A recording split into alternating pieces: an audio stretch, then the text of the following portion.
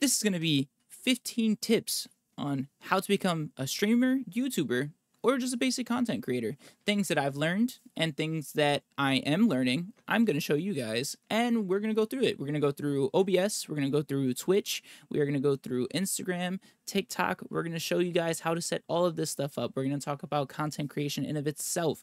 We're going to be talking about how to edit videos, edit videos for free so you don't have to pay for things like Adobe Premiere, things like that. There's other useful sources that you can get these things for free. We're going to talk about how to get your clips, things that you can do for free using AI in today's society. These are things that content creators are not showing people and these are things that I have learned the hard way and things that I have paid for and made mistakes on. And I want to show you guys so that you guys can make content.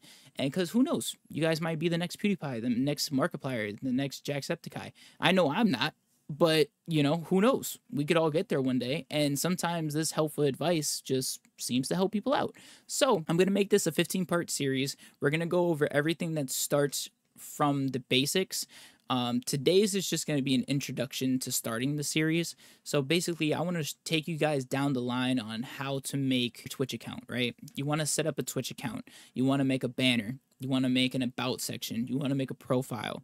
You want that stuff because that stuff is the things that catches people's attention. They're like, oh, he's an active Twitch content, and that's what draws them back in. That was the mistake I made when I first started a year and a half ago, and since I have done them recently, it has increased my following count.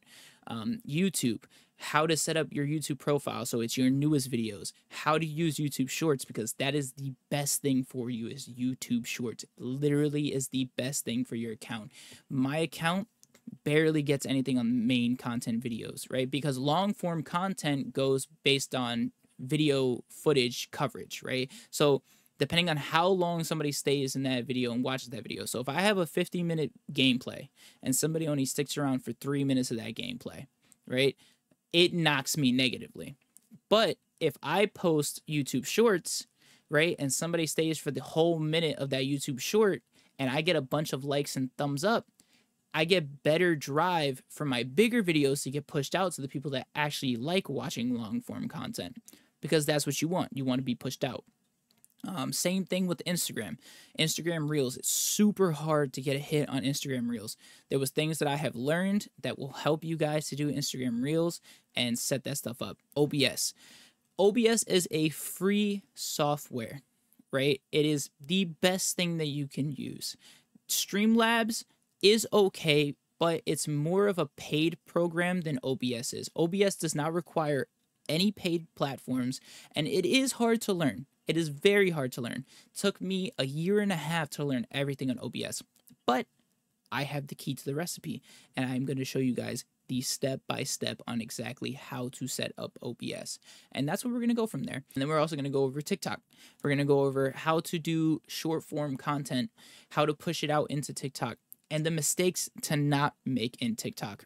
I have made some dramatic mistakes on my TikTok platform that has hit me negatively in my account, and I am now recovering back from that and being pushed out into the TikTok uh, form. We will show you those steps, and I will show you guys what to look out for, what not to do, and what to do, because there's a lot of people out there that tell you, hey, this is how you should do it.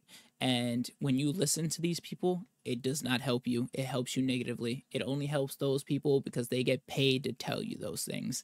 Sadly, that's how we all find out things. We learn the hard way, and I'm here to help you guys not make that mistake. And then, as far as editing, free platforms out there that you can do for editing. So I had first thought that, hey, I'm gonna buy Adobe Premiere. I'm gonna pay for the monthly subscription. It's gonna be amazing.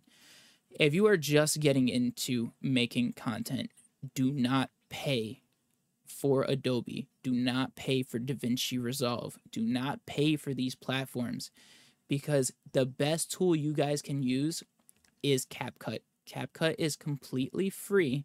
You guys do not need all of these crazy effects, all these crazy edits, all these crazy audios. You can literally go on MP3 free download, get free downloads for your audio, sync them, put them in a separate file on your tab, right? Then you can also go in and get free like um, text messages and customize them based on how you like them, font wise, picture wise. And to be honest with you, as long as your content is funny and it's engaging, people will come.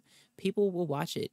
You don't have to have the craziest edit or the craziest stuff. What's funny is is that I used to actually try super hard with my edits before and now I just pump out like small little like jump cut edits and I get more traction on those than I did back in the day on my other stuff. And my other stuff, I would spend 2 hours editing it.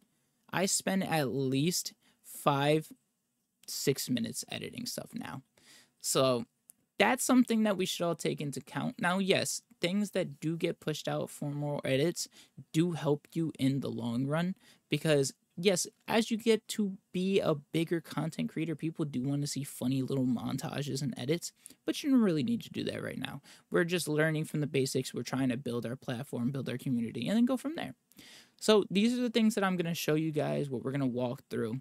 So this is just the introduction. I just wanted to introduce you guys to me. My name is Pandaty, and hopefully I can take you guys on this journey with me. But we're going to start with OBS and we're going to learn how to set up OBS. That's going to be our first one.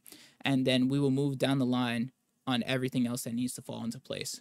So hopefully you guys stick around for this series. If you guys want to see other things during this series, like I said, it's going to be a 15 part, but I can do extras if you guys want to see more.